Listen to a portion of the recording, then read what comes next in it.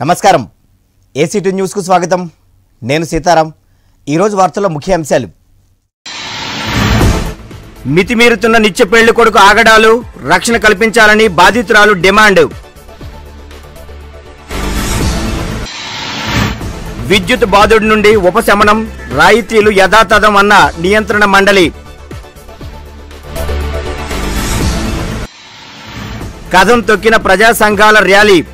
Collectorate ముట్టడికి యత్నం.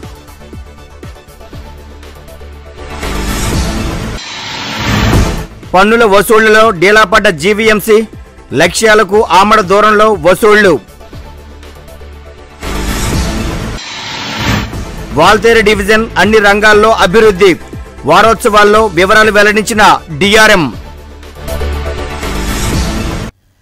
ఇక వార్తల్లోని వివరాలకు వెళ్దాం విశాఖలో ఓ నిత్య పెళ్ళికొడుకు ఉదంతం వెలుగులోకి వచ్చింది ఎనిమిది మంది మహిళలతో ప్రేమ వ్యవహారం నడిపి పెళ్ళి చేసుకుని ఆపై వ్యభిచారం చేయాలంటూ బలవంతం చేస్తున్నాడని బాధిత మహిళలు మీడియా ముందు విలపించారు.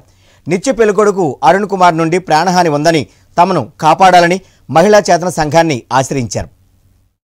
ప్రేమ పేరుతో పెళ్ళిళ్ళు చేసుకుని వేధిస్తున్న అరుణ్ కుమార్ బారి నుంచి తమకు రక్షణ కల్పించారని బాధిత మహిళలు మహిళా చేనేత సంఘంతో కలిసి వైజాగ్ జర్నలిస్ట్ ఫోరంలో మీడియా సమావేశం ఏర్పాటు చేశారు. అరుణ్ కుమార్ ఎనిమిది మందిని ప్రేమ పెళ్ళిళ్ళు చేసుకుని ఆపై వ్యభిచారం చేయాలంటూ ఒత్తిడి తీసుకొస్తున్నట్టు బాధితులు తెలిపారు.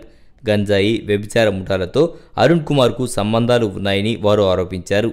తన మాట వినకపోతే తుపాకీ కత్తులతో బెదిరిస్తున్నాడని గత నెల కంచరపాళెం పోలీసులను ఆశ్రయించినా చర్యలు తీసుకోలేదని వాపోయారు. తమకు ప్రాణహాని ఉందని తక్షణమే అరుణ్ కుమార్ను అరెస్ట్ చేయాలని సిపి మనీష్ కుమార్కు వాయిస్ మెసేజ్ పెట్టామని తెలిపారు. పోలీసులు పట్టించుకోవడం లేదంటూ బాధితురాళ్ళు ఆవేదన వ్యక్తం చేశారు. దిక్కుతోచని స్థితిలో మహిళా సంఘాలను ఆశ్రయించినట్లు బాధిత మహిళలు తెలిపారు. నిందితుడిని తక్షణమే అరెస్ట్ చేయాలని మహిళా చేనేత ప్రధాన కార్యదర్శి కె. పద్మ డిమాండ్ చేశారు. ఇదిలా ఉంటే అరుణ్ కుమార్పై కేసు నమోదు చేయడంలో స్థానిక పోలీసులు నిర్లక్ష్యం వహించడంపై డీజీపీ గౌతమ్ సవాంగ్ ఆగ్రహం వ్యక్తం చేశారు. నిందితుడిపై తక్షణమే కఠిన చర్యలు చేపట్టాలని విశాఖ సిపిని ఆదేశించారు. కేసు నమోదులో నిర్లక్ష్యం వహించిన సిబ్బందిపైన దర్యాప్తు చేపట్టారని అన్నారు. నేను నీ కోసమే చంపాను నువ్వు కానీ ఒప్పుకపోయావు అనుకో నీ మీద కూడా కేసు నేను పెడతాను అని చెప్తాను బ్లాక్మెయిల్ చేయడం నాకు టార్చర్ పెట్టడం నువ్వు నాకు కావాలి నువ్వు భార్యవి నువ్వు అని చెప్తాను దొంగ సాసుకు అన్నీ సంపాదించుకొని చేయించుకొని నాకు మొక్కలు ఎరగొట్టడం కళ్ళ మీద కొట్టడం నా పిల్లలు కొట్టడం చాలా చాలా టార్చర్ ఏవో చాలా పెట్టాడండి. పోలీసులు కంప్లైంట్ చేశాను నాకు న్యాయం జరగలేదు సిపికి చేశాను సిపి ద్వారా చెప్పారు పోలీసులకి అయినా నాకు న్యాయం జరగలేదు. సంవత్సరాలకి బాగే ఉండేవాడు. తర్వాత ఒక్కొక్క అమ్మాయిని తెచ్చి ఇంట్లో పెట్టి నేను వాళ్ళని వ్యభిచారం చే- చేయిస్తున్నాను అని అంటే నేను ఒప్పుకుంటే ఒప్పుకునేదాన్ని కాదు. అప్పుడు కడుపు తీసిడు నాలుకేసి కొట్టిడు తర్వాత నుంచి తలుపులన్నీ పెట్టి బట్టలన్నీ ఇప్పేసి బెల్టులతో కొట్టడం టార్చర్ పెట్టడం. విశాఖపట్నానికి చెందిన ధనాల అరుణ్ కుమార్ అనే ఒక ముప్పై రెండు సంవత్సరాల వ్యక్తి నేర సామ్రాజ్యంలో పూర్తిగా తన మాఫియాన్ని ప్రతిష్ఠించుకొని కూర్చొని ఉన్నాడు. అతనికి బ్యాక్గ్రౌండ్ ఏమీ లేదు. జగదాంబ థియేటర్లో పూర్వకాలంలో స్వీపర్గా పనిచేసేవాడు. మొదట అతను గీతాంజలి అని ఒక అమ్మాయిని ట్రాప్ చేసి పెళ్ళి చేసుకున్నాడు.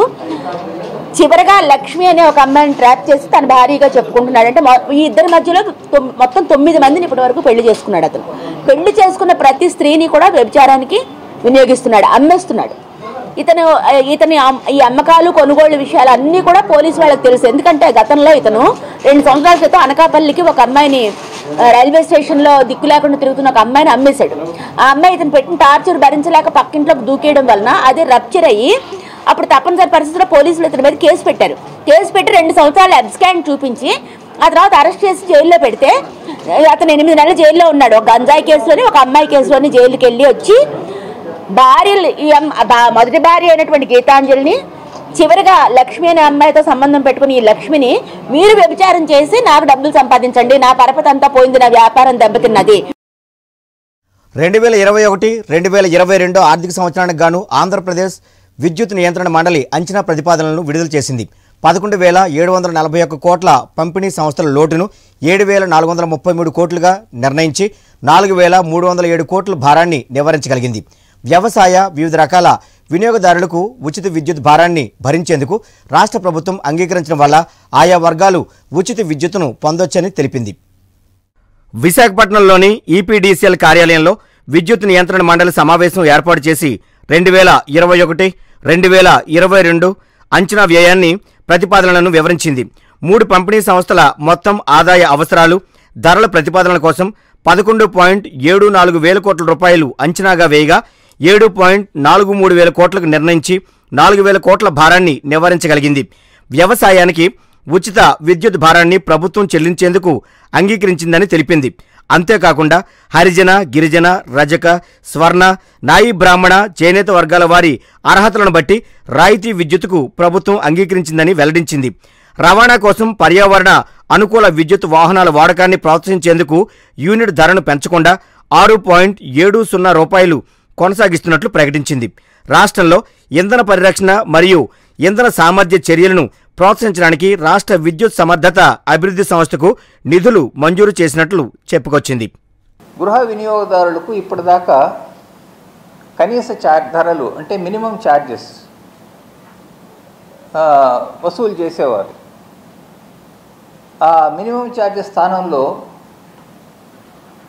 కిలోవాట్కు పది రూపాయల చొప్పున వసూలు చేసేదానికి అనుమతి ఇవ్వమని చెప్పి ఈ డిస్కామ్స్ ప్రతిపాదించాయి. పూర్వ అపరాలన్నీ పరిశీలించిన తర్వాత వారి వారి ప్రతిపాదనను మండలి అంగీకరించడం జరిగింది. సో దీనివల్ల మినిమం ఛార్జెస్ పే చేయాల్సిన అవసరం లేదు. దాని స్థానంలో కిలో వాట్కు ఒక పది రూపాయల చొప్పున ఈ గృహ వినియోగదారులు చెల్లించవలసిన చెల్లి చెల్లించవలసి ఉంటుంది. తర్వాత ఈ ఫంక్షన్ హాల్స్ కోసం స్థిర ఛార్జీలు అంటే ఫిక్స్డ్ ఛార్జెస్. కిలో వాటుకు వంద రూపాయల లెక్కన వసూలు చేసేవాళ్ళు. అది దాన్ని ఎత్తివేయమని చెప్పి ఈ డిస్కామ్స్ ప్రతిపాదించడం జరిగింది. దానికి మేము ఒప్పుకోవడం జరిగింది. కాబట్టి ఇక్కడ నుండి ఫంక్షన్ హాల్స్కు ఆ ఫిక్స్డ్ ఛార్జీస్ వేయబడవు.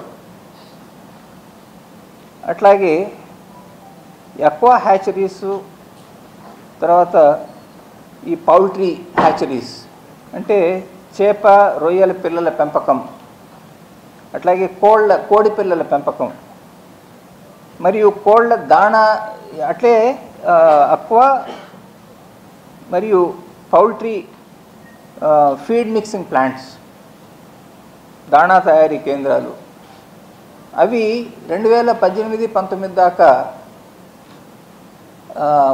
ఇండస్ట్రీస్ కేటగిరీ కింద ఉండేవి. వాటిని పంతొమ్మిది ఇరవై సంవత్సరం నుండి ఇండస్ట్రీస్ నుండి పక్కకు బయటికి తీశారు. తీసి వేరే కేటగిరీ కింద ఇచ్చేవారు. వాటిని మళ్ళీ తిరిగి ఇండస్ట్రీస్ కేటగిరీలో చేర్చమని చెప్పి డిస్కామ్స్ కోరడం జరిగింది. దానికి కూడా మేము అంగీకరించాం. అయితే ఇక్కడ ఎవరైతే ఈ ఫీడ్ మిక్సింగ్ ప్లాంట్స్ సొంతానికి సొంత అవసరాలకు అంటే క్యాప్టివ్ పర్పస్కు ఎవరైతే ఎల్టీ కేటగిరీలో వాటిని స్థాపించి నడుపుకుంటున్నారో అట్లాగే వాళ్ళకు జిఎస్టీ నుండి ఎవరికైతే పన్ను మినహాయింపు పడిందో వారికి ఒక ప్రత్యేక టారిఫ్ను మేము నిర్ణయించడం జరిగింది. ఆ టారిఫ్ ప్రకారం ఐదు ఐదు రూపాయల ఇరవై ఐదు పైసలుగా యూనిట్కు ధర నిర్ణయించాము. అట్లాగే కిలో వాటుకు డెబ్బై రూపాయలు నిర్ణయించడం జరిగింది. అంటే ఇది ఇండస్ట్రీస్ కేటగిరీ టారిఫ్ కన్నా ఒక రూపాయి నలభై పైసల దాకా తక్కువ అవుతుంది విశాఖ ఉక్కు ప్రైవేటీకరణకు వ్యతిరేకంగా చేపడుతున్న నిరసనలు తీవ్ర రూపం దాల్చాయి. నిర్వాసితుల ఐక్య సంఘం కార్మిక సంఘాల ఆధ్వర్యంలో నగరంలో భారీ ర్యాలీ చేపట్టి కలెక్టరేట్ను ముట్టడించాయి. విశాఖపట్నం స్టీల్ ప్లాంట్కు సొంత గనులు కేటాయించి కేంద్ర ప్రభుత్వమే ప్లాంట్ను నిర్వహించాలని డిమాండ్ చేశాయి. విశాఖ ఉక్కు ప్రైవేటీకరణను వ్యతిరేకిస్తూ వివిధ కార్మిక సంఘాల ఆధ్వర్యంలో ఉక్కు నిర్వాసితులు బుధవారం చెలో కలెక్టరేట్ ర్యాలీ నిర్వహించారు. విశాఖ ఉక్కు నిర్వాసితుల సంఘం విశాఖ ఉక్కు నిర్వాసితుల కాంట్రాక్ట్ లేబర్ యూనియన్లు సంయుక్తంగా ప్రజా సంఘాల ఆధ్వర్యంలో చేపట్టిన ఈ ర్యాలీ సరస్వతి పార్క్ జంక్షన్ నుండి జగదాంబ జంక్షన్ కేజీహెచ్ల మీదుగా కలెక్టరేట్ వరకు కొనసాగింది.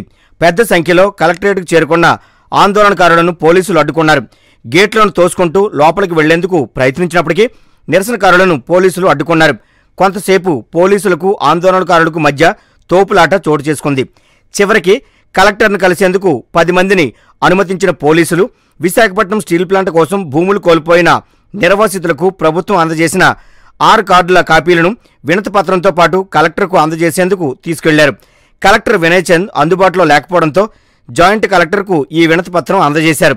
అనంతరం మీడియాతో వారు మాట్లాడుతూ ప్లాంట్ నిర్మాణంలో భూములు త్యాగం చేసిన నిర్వాసితులకు న్యాయం చేయాలని డిమాండ్ చేశారు. జాయింట్ కలెక్టర్ గారికి మెమరాండం ఇవ్వడం జరిగిందండి. ప్రధానంగా చెప్పింది ఏంటంటే మరి గత ప్రభుత్వం సుమారు అన్ని జీవోలు తెచ్చాం ట్రాన్స్ఫర్ జీవోలు. అది ముప్పై ఈరోజు సుమారు ఐదు వేల మంది యంగ్ మరి నిర్వాసితులు రిజిస్టర్ చేసుకున్నారు రేపు ఈ ఉద్యమం యువతతో అంటే చాలా తీవ్ర స్థాయిలో ఉంటుంది కనుక మీరు ఆలోచన చేయాల్సినటువంటి అవసరం ఉందని చెప్పి చెప్పడం జరిగిందండి. అదే కాకుండా ఈ మధ్యన వార్తలు వచ్చిన SDC office. Special deputy collector land acquisition office కూడా షిఫ్ట్ చేస్తున్నామని చెప్పేసి చెప్పడం జరిగిందండి. దాన్ని ఎట్టి పరిస్థితుల్లో కూడా ఆఫీస్ షిఫ్ట్ చేయకూడదు. ఎందుకంటే దాంట్లో పూర్తి నిర్వాసితుల ఒక డేటా ఉంది. ఎవరు ఏ ల్యాండ్ ఎంత ఇచ్చారు? వారి ఎవరి నుంచి వచ్చింది ఎవరి నుంచి దఖలుపడింది అన్నది ఆ ఇన్ఫర్మేషన్ ఉంది కనుక special deputy collector office maintain చేయాలని చెప్పేసి ఇంకో మాట. ఎందుకంటే అదొక భయాందోళనకి కారణం అవుతుంది అలాగే ఈరోజు నిర్వాసితుల యొక్క జెన్యున్ డిమాండ్ ఎనిమిది వేల ఐదు వందల మంది వాళ్ళ భూములు ఇచ్చుకున్నారంటే వాళ్ళ భూములు ఎందుకు ఇచ్చారంటే వాళ్ళకు జాబ్ ఇస్తారని చెప్పేసి. సో ఆ జాబ్ ఆన్సర్ చేయకుండా మీరు ప్రైవేటైజ్ చేయడం అంటే చాలా దారుణం అండి అని చెప్తూ అలాగే అసెంబ్లీ తీర్మానం పెట్టాలి. ఆకలి పక్షాన్ని తీసుకెళ్ళి కేంద్ర ప్రభుత్వం మీద ఒత్తిడి తేవాలని చెప్పేసి డిమాండ్స్ డిమాండ్స్తో ఈరోజు చెప్పడం జరిగింది. అనేక త్యాగాలతో నిర్మించుకున్నటువంటి ఉక్కు కర్మాగారాన్ని ప్రభుత్వం ప్రైవేటు పరం చేస్తూ ఉంది. ఉక్కు కర్మాగార నిర్మాణం కోసం భూముల్ని త్యాగం చేసి తమ ఉపాధిని తమ ఆస్తుల్ని త్యాగం చేసిన నిర్వాసితుల కోసం ఒక్క మాట మాట్లాడాల. ఈరోజు నిర్వాసితులు సగం మందికి మాత్రమే ఉక్కులో ఉపాధి ఇచ్చారు. ఆ ఇచ్చిన భూములకి నష్టపరిహారం కూడా నామ మాత్రమే నష్టపరిహారమే ఇచ్చారు. ఈ నేపథ్యంలో విశాఖ ఉక్కును ప్రభుత్వ రంగంలో కొనసాగించడంతో పాటు నిర్వాసితుల సమస్యకు శాశ్వత పరిష్కారం చూపించాలని చెప్పని డిమాండ్ చేస్తా ఉన్నాం. ప్రతి నిర్వాసిత కుటుంబానికి కనీసం ఐదు వందల గజాల భూమిని ఆయన ఇచ్చే ఆ సమస్యకు శాశ్వత పరిష్కారం చూపించాలని సిపిఐగా డిమాండ్ చేస్తున్నాం. ఈ నేపథ్యంలో ఉక్కు నిర్వాసితులందరూ కూడా నగరంలో ఈరోజు భారీ ప్రదర్శన చేసి కలెక్టర్ కార్యాలయానికి వచ్చారు. శాంతియుతంగానే ఈ కార్యక్రమం నడిచింది. ప్రభుత్వం దీనికి శాంతియుత పరిష్కారం చూపిస్తే సరే సరే లేని పక్షంలో ఈ పోరాటం మరింత తీవ్రతరం అవుతుందని హెచ్చరిక చేస్తాం. జీవీఎంసీ పన్నులు వసూలు చేయడంలో అంచనాలకు వాస్తవాలకు ఆమోద దూరంలో ఉంది. రెండు వేల ఇరవై ఇరవై ఒకటవ ఆర్థిక సంవత్సరానికి గాను మూడు వందల ఎనభై ఒక్క కోట్లు పన్నుల రూపేణా వసూలు చేయాలని లక్ష్యంగా పెట్టుకోగా ఇప్పటి వరకు రెండు వందల అరవై కోట్లు వసూలు చేయగలిగింది. బుధవారంతో ఆర్థిక సంవత్సరం ముగియనుండడంతో నగర వాసులు పన్నులు చెల్లించాలని అధికారులు కోరుతున్నారు. వీటి ద్వారా జీవీఎంసీ ఉంది గత ఆర్థిక సంవత్సరం రెండు వేల పద్దెనిమిది పన్నుల ద్వారా వసూలు అయ్యే ఆదాయమే జీవీఎంసీకి ప్రధాన ఆదాయ వనరు ఈ నిధులతోనే అభివృద్ధి పనులు కార్యాలయ నిర్వహణ ఖర్చులకు వినియోగిస్తుంటారు. నివాస వాణిజ్య భవనాలు ఖాళీ స్థలాలకు నగరం పరిధిలో సుమారు ఐదు లక్షల వరకు అసెస్మెంట్లు ఉన్నాయి. వీటి ద్వారా జీవీఎంసీకి ఏటా రెండు వందల డెబ్బై కోట్ల వరకు ఆదాయం వస్తుంది. గత ఆర్థిక సంవత్సరం రెండు వేల పద్దెనిమిది నుండి పంతొమ్మిదిలో అంచనాలకు భిన్నంగా మూడు వందల రెండు కోట్లు వసూలు చేసి రికార్డు సృష్టించింది. దీనితో రెండు వేల పంతొమ్మిది నుండి ఇరవైలో మూడు వందల నలభై కోట్లు వసూలు చేయాలని అంచనాలు పెట్టుకోగా కరోనా కారణంగా రెండు వందల ముప్పై ఆరు కోట్లు మాత్రమే వసూలు చేయగలిగారు. రెండు వేల పంతొమ్మిది నుండి ఇరవై బకాయిలు పంతొమ్మిది వందల ఇరవై నుండి ఇరవై ఒక్క సంవత్సరం అంచనాలు కలిపి మూడు వందల ఎనభై ఒక్క కోట్లు వసూలు చేయాలని లక్ష్యంగా పెట్టుకున్నారు. దీనికోసం రెవెన్యూ విభాగం అధికారులు ప్రత్యేక కార్యాచరణ రూపొందించారు. పన్ను చెల్లింపుదారులకు రాయితీలు ప్రకటించారు. అలాగే బిల్ కలెక్టర్లు రెవెన్యూ ఇన్స్పెక్టర్లు రెవెన్యూ ఆఫీసర్లు వార్డుల వారీగా లక్ష్యం నిర్దేశించుకోవాలని ఆదేశించారు. అయితే మార్చ్ ఇరవై తొమ్మిది నాటికి కేవలం రెండు వందల ఎనభై కోట్లు మాత్రమే వసూలు చేయగలిగారు. ఈ ఏడాది కూడా కరోనా వేవ్ కొనసాగుతుండడం జీవీఎంసీ ఎన్నికలు పన్నుల వసూలుపై ప్రభావం చూపాయని చెబుతున్నారు.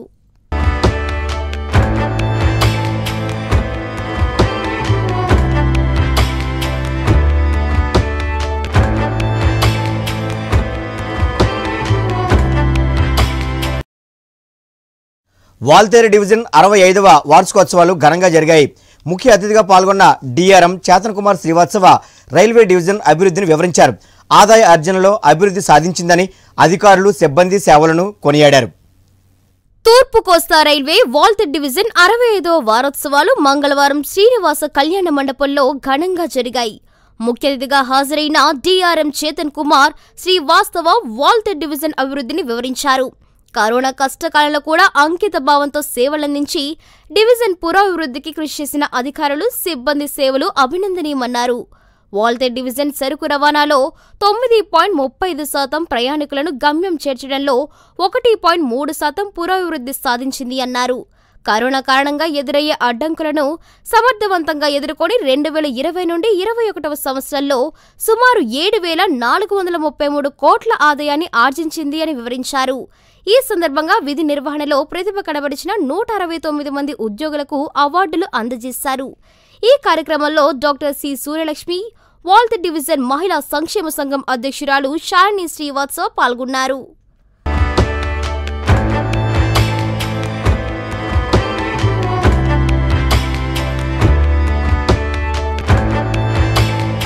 Actually, uh, you all know that this is 65th uh, Railway Week celebrations.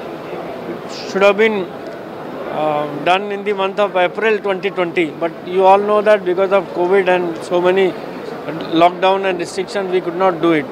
So uh, we have a system of organizing the celebrations uh, and distributing awards for meritorious performance and services to various railway officers, staff and supervisors at uh, railway board level as well as zonal level and divisional level.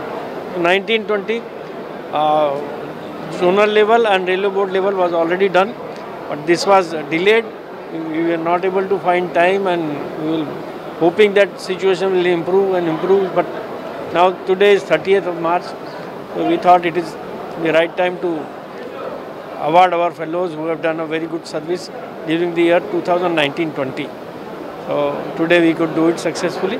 All the fellows who have contributed for betterment of uh, performance of uh, Voltaire division and uh, contributing towards the passenger services, freight services, we have awarded them.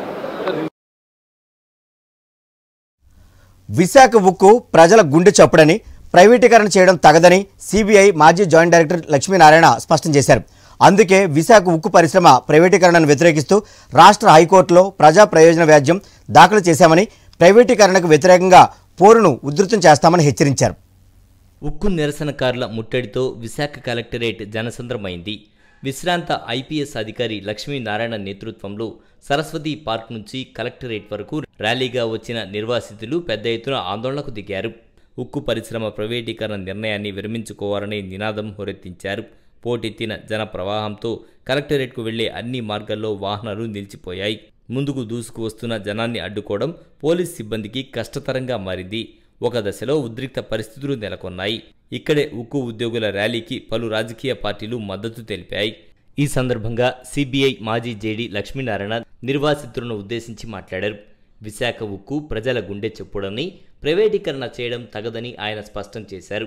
ప్రైవేటీకరణకు వ్యతిరేకంగా పోరును ఉధృతం చేస్తామంటూ హెచ్చరించారు. ఊరు బాగుపడుతుందని చెప్పేసి వాళ్ళు ఆ భూమిని ఇవ్వడం జరిగింది. అందువల్ల అటువంటి త్యాగాలు చేసిన వాళ్ళకి ఇంకా తొమ్మిది వేల పైచులకు వాళ్ళకి ఉద్యోగాలు ఇవ్వకుండా మనం అలాగే ఉంచుతుంటే అది ప్రభుత్వం దృష్టిలో అది కరెక్ట్ కాదు. అంటే ప్రభుత్వం మేము మీకు ఉద్యోగాలు ఇస్తామని చెప్పి వాళ్ళు ఈ విధంగా వాళ్ళను ఇవ్వకుండా చేయడం అన్నది తప్పు. అందువల్ల మాకు ఇది ఇవ్వండి ప్రైవేటీకరణ చేయొద్దు. ఆ తర్వాత వచ్చేసి స్టీల్ ప్లాంట్ ఎక్స్పాన్షన్ కూడా సాధ్యం. ఈ స్టీల్ ప్లాంట్ యొక్క ప్రైవేటీకరణ జరగకుండా చేసే బాధ్యత మనందరి మీద ఉంది. ఎందుకంటే ఇది భావోద్వేగాల గురించి చెప్తున్న విషయం కాదు. ఈ స్టీల్ ప్లాంట్ని లాభాల్లో తెచ్చే అనేక మార్గాలు ఉన్నాయి కాబట్టి వీటన్నిటి కూడా ప్రభుత్వం దృష్టిలో ఉంచుకోవాలని చెప్పేసి ఈ రోజుల్లో విద్యార్థులు ఇంజనీరింగో డాక్టరో చదవాలని చూస్తున్నారు తప్ప వ్యవసాయం చేయాలనే ఆసక్తి కనబరచడం లేదని రాబోయే రోజుల్లో ఆహారానికి ఇబ్బందులు పడకుండా చిన్నతనం నుంచే వ్యవసాయంపై మక్కువ కల్పించే దిశగా ఆర్గానిక్ వ్యవసాయంపై అవగాహన కల్పించాలనే ఉద్దేశంతో ఈ నెల ఇరవై తొమ్మిదవ తేదీ నుండి ఏప్రిల్ మూడవ తేదీ వరకు సేంద్రియ వ్యవసాయం పర్యావరణ పరిరక్షణ అనే అంశాలపైన అవగాహన సదస్సు నిర్వహిస్తున్నామని Sri Sri world school executive director doctor మేఘన తెలిపారు. విద్యార్థులకు యంత్రాలను ఉపయోగించి దున్నడం నాట్లు వేయడం మొదలైన కార్యక్రమాలు ఆర్గానిక్ ఫార్మింగ్లో నిపుణులైన అభిరామ్ చేత వారికి ప్రత్యక్షంగా ప్రాక్టికల్ రూపంలో శిక్షణ కల్పిస్తున్నామని చెప్పారు ఈ కార్యక్రమంలో అభిరామ్ వి పాఠశాల డీన్ చంద్రిక శ్రీశ్రీ పాఠశాల ప్రిన్సిపాల్ శైలజ మల్లికార్జునరావు ప్రసన్న కుమార్ తదితర ఉపాధ్యాయులు పాల్గొన్నారు and uh, digging and plowing and muddy creation and all of that. The second one is sowing the seed watering ఇవన్నీ uh, జరుగుతుంది. ద థర్డ్ వన్ ఆల్రెడీ మన దగ్గర ఉన్న ప్లాంట్స్ దగ్గరికి అన్ని తీసుకెళ్ళి harvesting and plant crop rotation ప్లాంట్ని ఎట్లాగా మనం ప్రొటెక్ట్ చేసుకోవాలి ఆఫ్టర్ హార్వెస్టింగ్ అవి నేర్పిస్తారండి లైవ్గా and all of that included with organic fertilizers చేయడం కూడాను. ఆర్గానిక్ ఫర్టిలైజర్స్ యూస్ చేయడం కూడా పిల్లలకి నేర్పిస్తారు. అండ్ ద లాస్ట్ డే మాత్రము the idea is to launch the Center for Learning for Practical Organic Techniques. So centre for learning for practical organic techniques మనం launch చేస్తామండి last day మాత్రము. దీనివల్ల ఏంటి అని అంటే one whole year initiative school పిల్లలు year round farming వాళ్ళ time టేబుల్లోనే పీరియడ్స్ పెట్టుకొని వాళ్ళు ఫార్మింగ్కి ఒకళ్ళు ఒకళ్ళు టర్న్ వేసుకొని త్రీ క్రాప్స్ క్రాప్ రొటేషన్తో పండిస్తారు. అండ్ ఆంటర్ప్రినర్షిప్ క్లబ్లోని they will search for methods to actually market the product that they నగరంలో అత్యాధునిక పరిజ్ఞానంతో కూడిన ఫిజియోథెరపీ క్లినిక్ ప్రారంభమైంది. లాసెన్స్ బే కాలనీ పోస్ట్ ఆఫీస్ మార్గంలో Geetha's physiotherapy clinic Gitam university ఉపకులపతి ఆచార్య పిఎస్ రావు కేజీహెచ్ విశ్రాంత విభాగాధిపతి డాక్టర్ ఉదయ్ కుమార్లు ప్రారంభించారు. ప్రముఖ వైద్య నిపుణులు సంస్థ managing director CH Uday Shankar clinic ప్రత్యేకతలను వెల్లడించారు. అత్యాధునిక పరిజ్ఞానంతో పాటుగా నిష్ణార్థులైన వైద్య నిపుణులతో చికిత్స అందిస్తున్నామని క్లినిక్ అంతర్జాతీయ ప్రణాళికతో ఉంటుందని చెప్పారు. శరీర స్థితిగతులను సరైన అంచనా వేసి వ్యాధుల నిర్మూలనకు అవసరమైన ఫిజియోథెరపీ వైద్య విధానంతో చికిత్స అందించనున్నామని డాక్టర్ ఉదయశంకర్ వెల్లడించారు. సామాన్యులకు సైతం అందుబాటు ధరల్లో ఈ చికిత్స అందించేలా టారిఫ్ రూపకల్పన చేశామని చెప్పారు. కార్యక్రమంలో క్లినిక్ నిర్వాహకులతో పాటుగా పలువురు వైద్యులు కూడా పాల్గొన్నారు.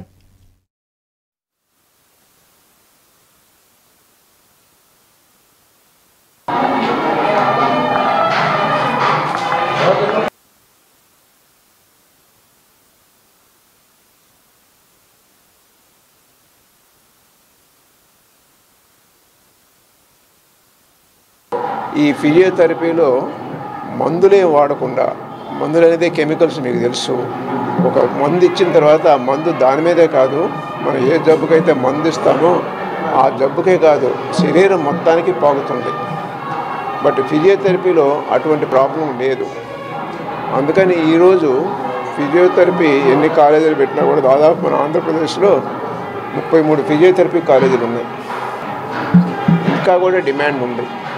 ఎందుకుందంటే ప్రజలు కూడా మందులకి తగ్గించి న్యాచురల్ ప్రాసెస్లో మనం ఎంత త్వరగా రికవర్ అయ్యి మనం మన చేసే పనికి వెళ్తానికి దాహతలాడుతున్నారు. అందువల్లే ఫిజియోథెరపీ సెంటర్స్ బాగా వృద్ధి చెందుతున్నాయి బట్ ఈ physiotherapy centre routine physiotherapy centre కాకుండా అడ్వాన్స్డ్ ఎక్విప్మెంట్ తోటి అడ్వాన్స్డ్ టెక్నాలజీ తోటి చాలా కంఫర్టబుల్గా ఉదయ్ కుమార్ గారు చెప్పినట్టు ఇన్పేషెంట్ కేర్ కూడా ఇవ్వడానికి అది చాలా తక్కువ మందికి. ఎందుకంటే ఏదో ఒక గంట వచ్చి చేపించుకొని వెళ్ళిపోయి ఇంటి దగ్గర చేయమంటాం కాకుండా కంటిన్యూస్ సూపర్విజన్లో ఉంటారు కాబట్టి త్వరగా రికవర్ అవడానికి మంచి ఛాన్స్ ఉన్నాయి.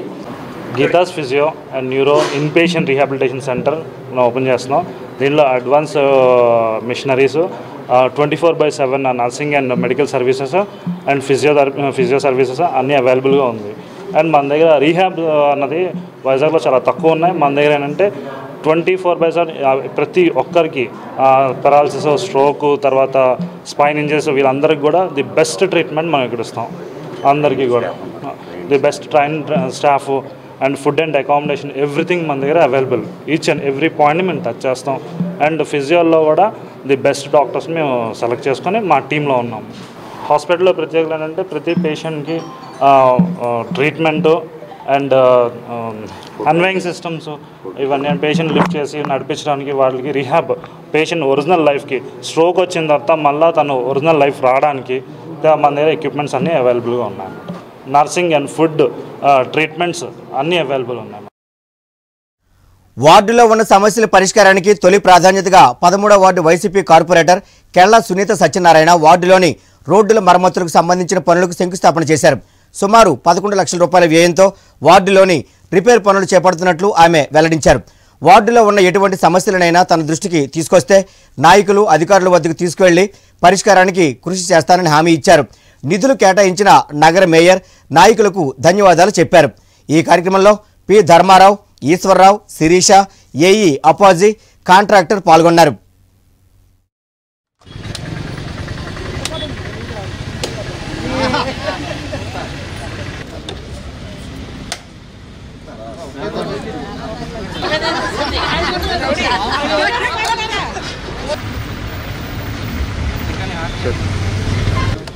వెనక్కి రండి. బాబు కొంచెం వెనక్కి. ఇంకా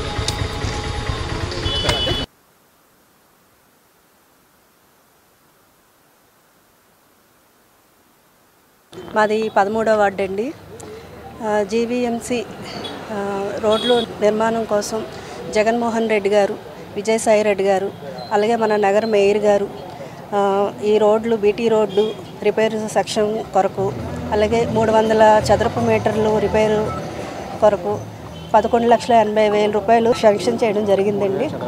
మూడు వేల చదరపు మీటర్లు రిపేర్ సెక్షన్లు రిపేర్ కొరకు బీటీ రోడ్ల కొరకు పదకొండు లక్షల ఎనభై వేలు మంజూరు చేయడం జరిగిందండి. అలాగే ఏ విధమైన ఇబ్బంది లేకుండా మన నంబర్ వార్డులో ఉన్న సమస్యలన్నీ మన కార్యకర్తల ద్వారా ఏవైనా లైట్లు సమస్య కానీ డ్రైనేజీల సమస్య కానీ అలాగే రోడ్ల సమస్య కానీ ఏవైనా ఉన్నా సరే మన వద్దకు తీసుకురావాలని వాళ్ళని కోరుకుంటున్నానండి. అలాగే ఇప్పుడు కరోనా టైం అండి కొంచెం డిస్టెన్స్ మెయింటైన్ చేస్తూ కొంచెం మాస్కులు ధరిస్తూ శానిటైజర్లు వాడుతూ కొంచెం మనకి అంటే వచ్చిన తర్వాత చేసే కన్నా రాకముందే జాగ్రత్త పడాలని నేను కోరుకుంటున్నానండి. నూతన కార్యవర్గం వచ్చిన తర్వాత కార్పొరేట్ గారి సమక్షంలో పదకొండు లక్షల ఎనభై వేలు మంజూరైంది. దాని సదరు ప్యాచ్ వర్క్లు మొదలు పెట్టడం జరుగుతుంది. ఈ తదుపరి ఇంకా కార్పొరేటర్ గారు ఇచ్చిన దీని ప్రకారం ఇంకా వాటిని అభివృద్ధి పరచడానికి సహక మేము డిపార్ట్మెంట్గా మేము అందరం సహకరిస్తాం సింహాచల దేవస్థానం బడ్జెట్కు రానున్న రెండు వేల ఇరవై ఒకటి రెండు వేల ఇరవై రెండో ఆర్థిక సంవత్సరానికి గాను నూట ముప్పై ఎనిమిది కోట్లకు పాలక మండలి ఆమోదం తెలిపింది. నృసింహవనంలో మంగళవారం నిర్వహించిన సమావేశంలో చైర్పర్సన్ సంచియత గజపతి నలభై మూడు అంశాలను ప్రవేశపెట్టగా పాలక మండలి ఏకగ్రీవంగా దీనిని ఆమోదించినట్లు సంచిత గజపతి తెలిపారు. సమావేశం అనంతరం ఎగ్జిక్యూటివ్ ఆఫీసర్ ఎంవి సూర్యకళ మాట్లాడుతూ ఎజెండాలోని అంశాలతో పాటు లేని అంశాలను కూడా కొన్ని చర్చించామని వాటికి పాలక మండలి ఆమోదం తెలిపిందని వివరించారు. మెట్ల మార్గం పనులు తాత్కాలికంగా నిలిపివేస్తున్నట్లు ప్రకటించారు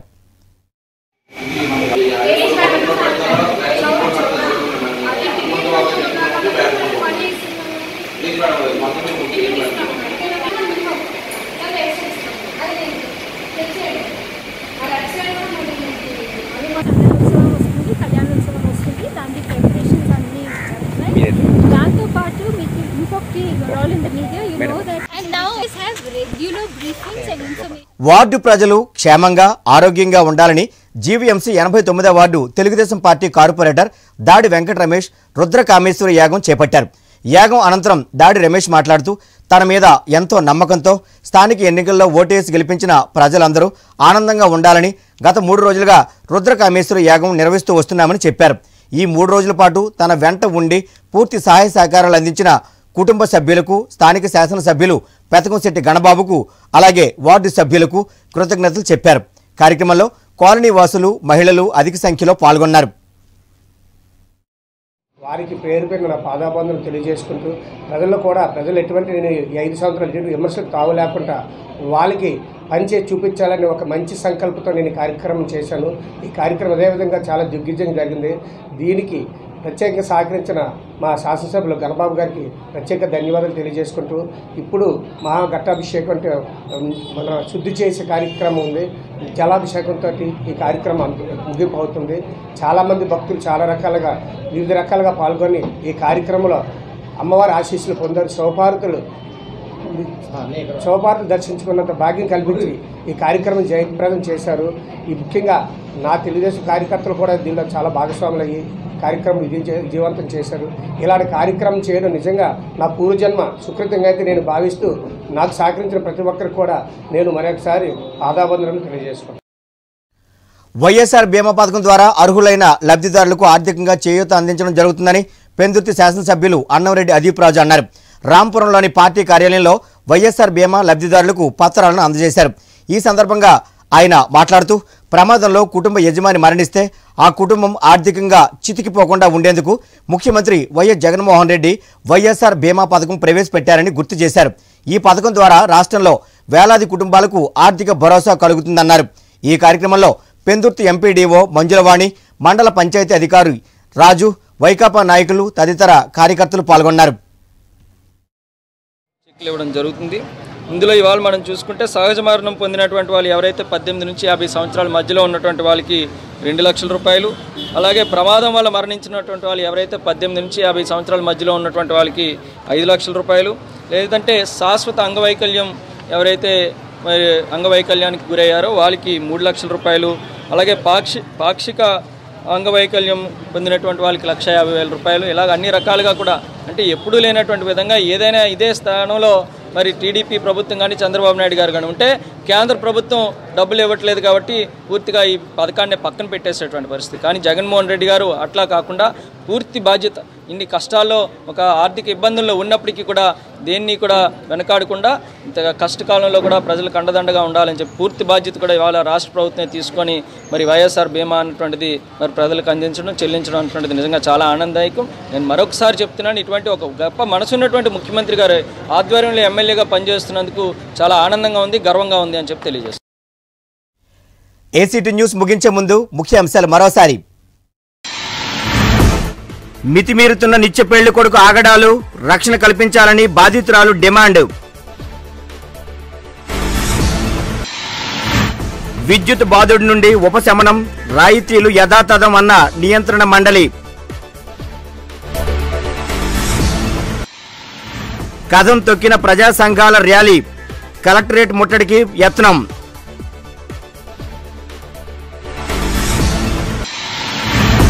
పన్నుల వసూళ్ళలో డీలాపడ్డ జీవీఎంసీ లక్ష్యాలకు ఆమడ దూరంలో వసూళ్ళు.